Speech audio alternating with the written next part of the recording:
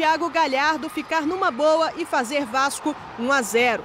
O Grêmio empatou rápido aos 19. Léo Moura fez boa jogada pela direita e achou Jael embaixo da trave para marcar. 1 a 1. E então, aos 49 do segundo tempo, Matheus Henrique arriscou de longe e o goleiro Martim Silva aceitou. Frango daqueles e vitória do Grêmio por 2 a 1.